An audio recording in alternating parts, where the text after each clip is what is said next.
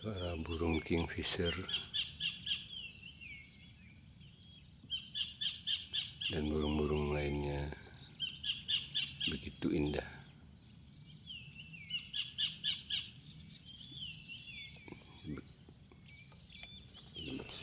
Putaran